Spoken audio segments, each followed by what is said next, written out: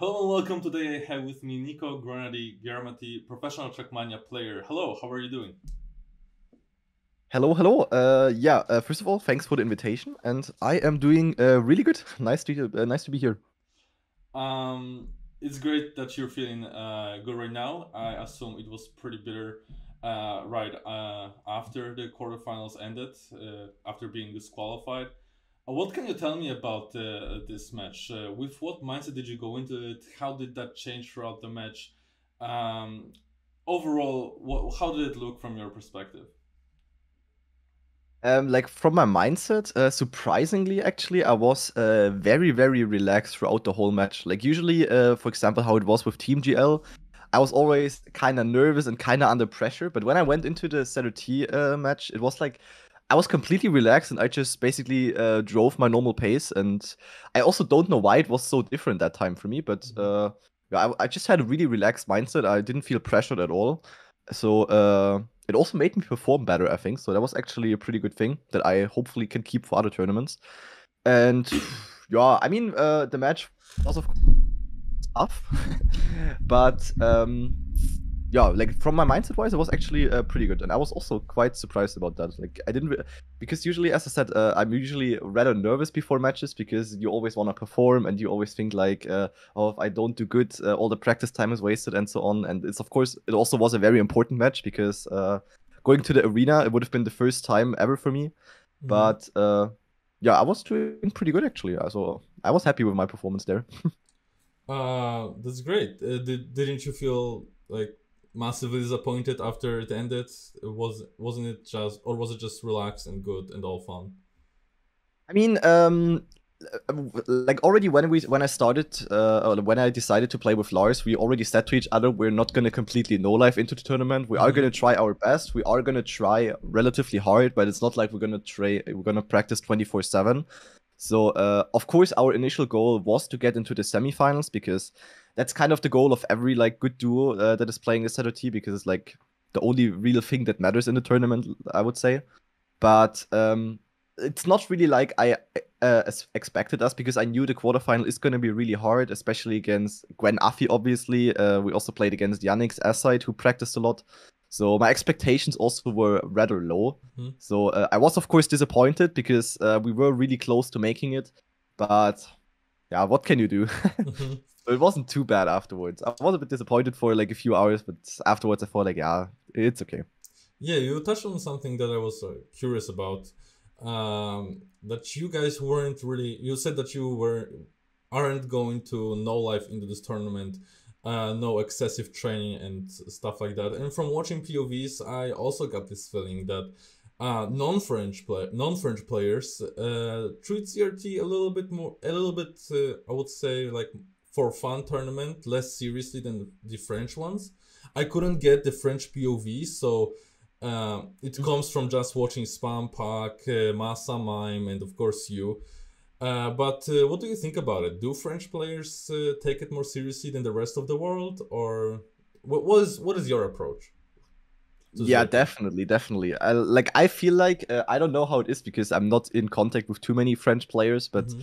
i feel like the ZRT cup for the french people is like the, the most by far but like by miles the most important thing in trackmania for them. And it's like that one time of the year where they're just gonna grind the game till the maximum to like get there uh, I don't know. It's probably because I mean uh, the uh, the tournament is of course very French based. Like you only have French casts. Um, the organization by now is also uh, like you like I, I remember a few years ago. I think all the announcements and so on only were French and stuff. And of course, also the whole show is based in France and it's of course focused towards uh, French players. Like by now, uh, luckily, Raider and also John and the admins and so on, they enabled the tournament for people outside of Fran- France as well, which is pretty good. But of course, it's still mainly focused on uh, the French community. So um, it's kind of it, it really makes sense that the French people or the French speaking ones, also people like Carl and so on, or the ones from Switzerland, that they uh, take it more serious. And yeah, I mean, most of the non-French people, they're just I don't know, they just take it as a fun tournament, as you said. So, but to me, it's not really surprising. It it makes sense if you ask me.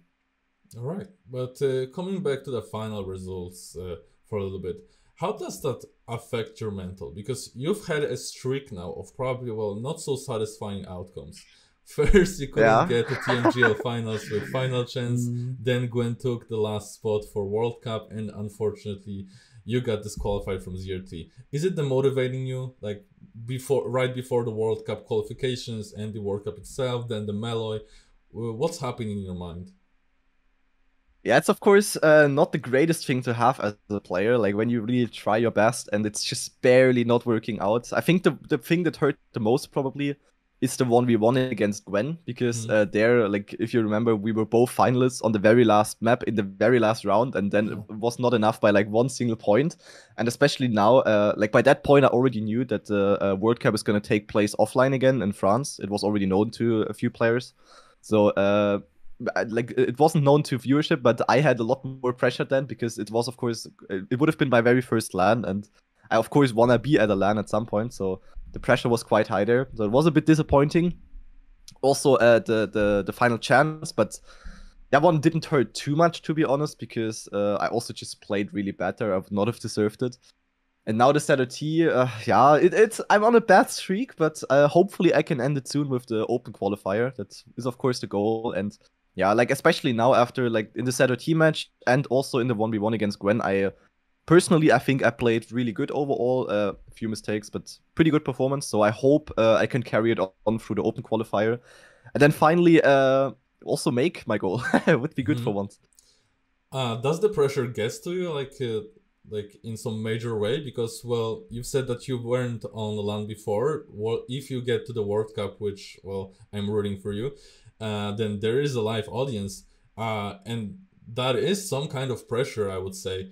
Uh, do you think that uh, that well pressure gets into your head? Uh, would that uh, degrade your performance, or or do you feel fine with it?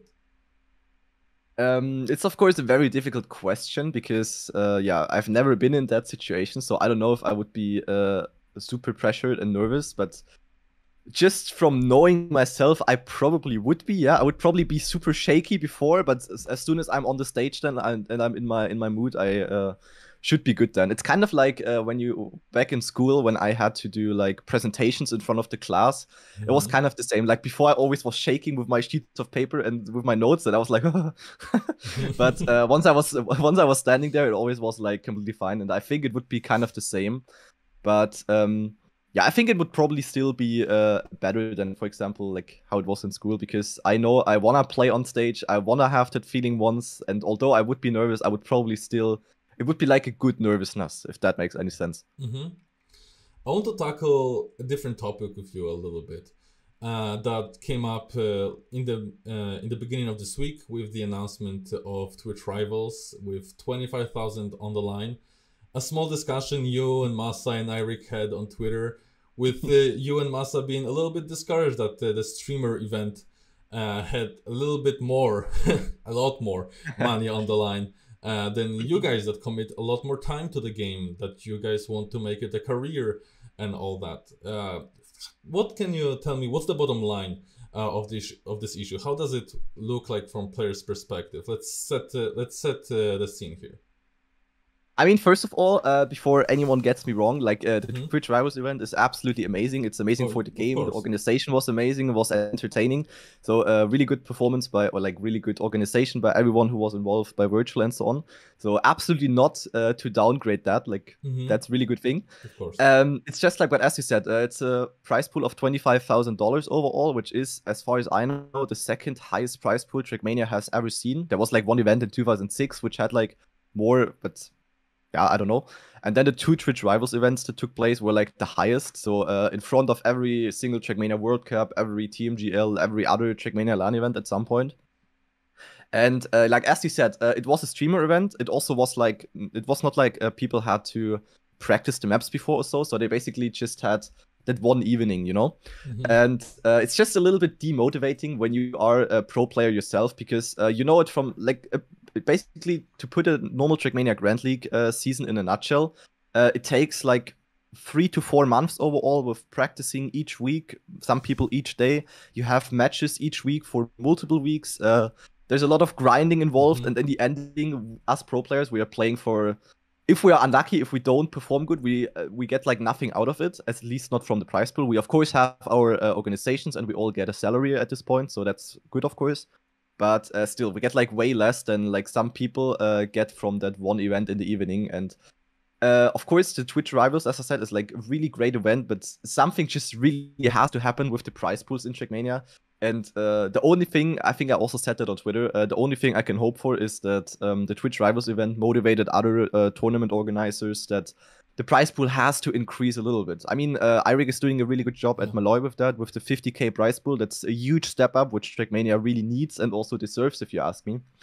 But um, yeah, I mean, the major issue still is that Trackmania Grand League has no sponsor now, although it's existing for how many years? Three years, four years? Three, four. And I mean, we have average viewers of like 70,000 with all the streamers and so on involved. So it's just like uh, from season to season without sponsor, it's getting more. Uh, it's getting worse and worse for the players, you know, uh, because we see a lot of people are watching. It's seventy thousand people.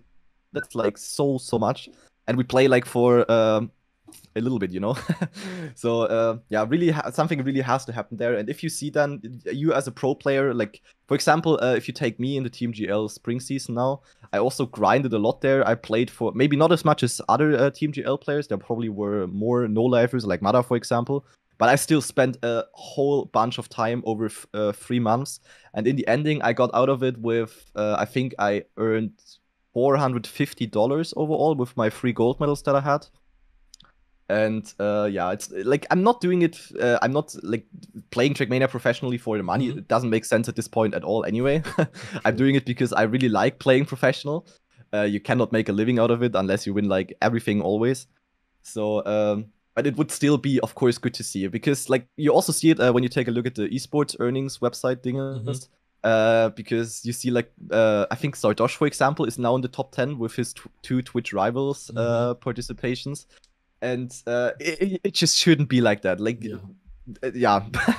yeah so I, hope it. everyone understands Massa's and my um, point there. Like something just has to happen with the prize pools of professional Trackmania tournaments. It's mm-hmm. just it, it, shouldn't be like that. That some streamers, uh, although they are of course uh, having a lot of, uh, you know, they are very popular. Sardoche has like thousands of followers. Of course, uh, he's very popular and is earning more, but it shouldn't be that they win more in Trackmania tournaments than the actual pros of the game, if you ask me. Mm-hmm. And I think most people uh, also have the same point of view there, I think.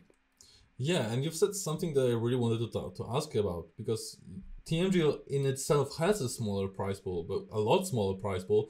But there is a requirement for organizations to pay you guys salary that has some sort of minimum I don't know mm. if this minimum is high. I don't know if it's adequate. I don't know if it's high.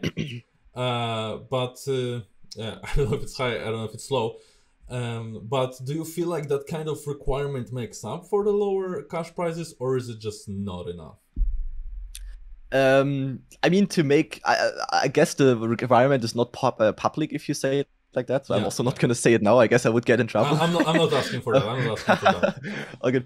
Um, yeah, I mean, I can tell you it's like the minimum is not enough to still live from it unless you're like living very minimalistic. Let's just put it that mm-hmm. way. So uh, the it's of course a very good thing because uh, even if you perform bad, you you will get some sort of reward out of putting your time in, which is of course a good thing. And it also didn't exist until a few seasons ago, I think. I am not entirely sure about that either, but uh, it's definitely a good thing that uh, Nadeo um, helped setting that up with the organizations, but uh, yeah, it's still like it makes up for a little part, but it doesn't make up for the whole part. Like for that, mm-hmm. the requirement uh, would have to be still quite a bit higher to allow. Because I, in my opinion, uh, it should be that the top 16 or like this, that the 16 TMGL players they should be able to do it full time. That would be like the the goal to reach. I would say not like full time in terms of twenty five thousand dollars salary a month or so, so that mm-hmm. they can live in like uh, I don't know in the biggest house ever, but like that they can live like a normal uh, full time life out of it, like as if you had a normal other full time job. That would be like a really good goal to reach, and uh, yeah, for that it's it's just it's not enough, even mm-hmm. with the uh, minimum salary. So, so, much I can say, I think. mm-hmm. So, what would you like to see happen towards that issue? Because there was that idea of crowdfunding, and even Trillax has offered ten thousand dollars, I think, for the next season of TMGL. uh, is that the only thing that you see uh, that you see can happen, or what are the other options? I mean, uh, the crowdfunding is like the first option. As far as I know, other games are also doing it. I think um, somebody too. said Dota, for example. Yeah, mm-hmm. Dota exactly uh, is doing that as well. And I mean, we all know how amazing the Trackmania community is. They are very yeah. generous. You also see it like with the with the streamers and so on. They're getting so many donations and subs, and the, the community is just very, very uh, amazing. And as I, I, think I also said that on Twitter, um, if you would actually do a crowdfunding prize pool, it would probably be a lot coming towards there. You already said it. Uh, Trilux um, offered ten thousand yeah. from his own already, which is absolutely amazing. And if you would make it completely open for public, I think um, a lot of people would contribute there. You also see it with other tournaments. For example, there is um, Flink is always doing the the icy campaigns. I don't yeah. know if you mm-hmm. ha- yeah. and th- those are always also having like uh, more than one thousand dollar prize pool, all uh, funded by the community. So um, that would be the one chance to definitely already. I think with that we could at least bring the prize pool to like 40 50k honestly i think uh, because with the help of nadeo like right now it's like 15k or so. I'm pretty sure we could at least reach like 30k with that. I mean you already have the 10k by trilux and i'm pretty sure we would uh, be able to do that. And i mean the other obvious option would of course be to um to finally get a sponsor into the league because as i said mm-hmm. earlier uh, the viewership is amazingly high and um, I honestly uh, like uh, I don't know how, what's happening at Nadeo, like uh, why they don't why we don't have a sponsor yet or so. But I honestly don't really understand why we don't have one yet because I just can't imagine that no company is uh, willing to sponsor uh, sponsor TMGL because the viewership is amazing, the community mm-hmm. is amazing. Uh, Trackmania and uh, Trackmania itself is like a very viewer friendly game. It's not like uh, maybe Counter Strike, for example, which is like maybe a bit too too much for like some companies. Like literally any company you can imagine could advertise in Trackmania because it's like yeah. very kid friendly and so on. Then you also have like the huge uh, advertisement uh, signs in the arena. And there are like also many possibilities. So it, it should be very, very uh, um, sponsor friendly, I think. Mm-hmm. And um, yeah, like yeah, I, there has to just be one. I, I I really don't know where the problem is because I have no insight in Nadeo, but the only thing us players or like in general uh, the community can do is to hope that Nadeo mm-hmm. will finally uh, find one or manage to get one. But yeah, yeah I mean, if we can just wait, we can just wait and pray. if anyone from Nadeo is watching this, I am very much willing to talk about it with you guys. Softy, hmm? but uh, uh, thank you for the interview. Uh, do you have any short message for your fans and the viewers?